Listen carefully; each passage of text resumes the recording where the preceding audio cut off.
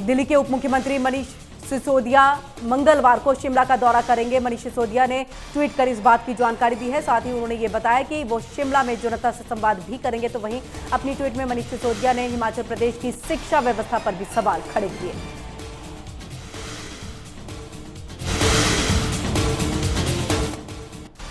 हिमाचल आम आदमी पार्टी के प्रवक्ता और पूर्व डीजीपी आईजी भंडारी ने शिमला में प्रेस कॉन्फ्रेंस के दौरान उन्होंने प्रदेश की शिक्षा व्यवस्था पर बयान दिया है। आईजी भंडारी ने कहा कि प्रदेश की शिक्षा व्यवस्था की दयनीय हालत पर दिल्ली के डिप्टी सीएम मनीष सिसोदिया जनता से संवाद करेंगे।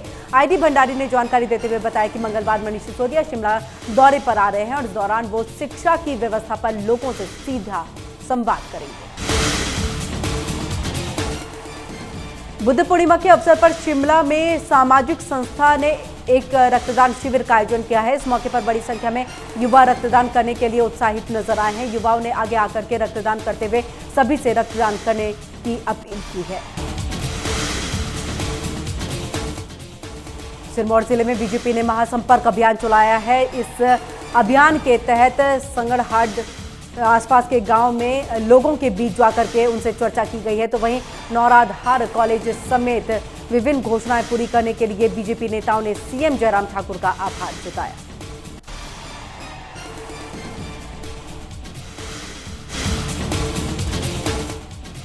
कसौली के जंगलों में लगी भीषण आग पर काबू पाने की कोशिशें लगातार जारी है। कंडा रोड पर धुंती गाँव के पास ज... जंगलों में लगी आग धीरे धीरे रिहायशी इलाकों में बढ़ रही है। आग की वजह से यहाँ का नेचर कैंप ऑफ़ जल करके पूरी तरह से राख हो चुका है। बहरहाल, स्थानीय लोग और दमकल विभाग की टीमें आग पर काबू पाने की कोशिश में जुटी हैं।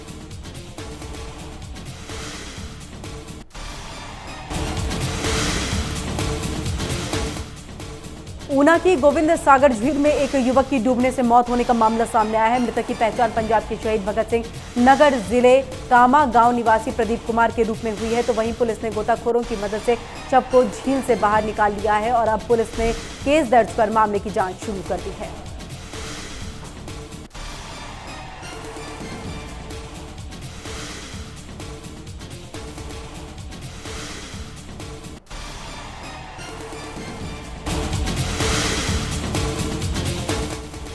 हिमाचल प्रदेश शिवसेना के प्रदेश प्रमुख शिवदत्त विशिष्ट ने जिला मुख्यालय के सर्किट हाउस प्रेस कॉन्फ्रेंस की है। इस दौरान उन्होंने खालिस्तानी आतंकी गुरपंत पनवनु को हिमाचल में कदम रखने की चुनौती दी।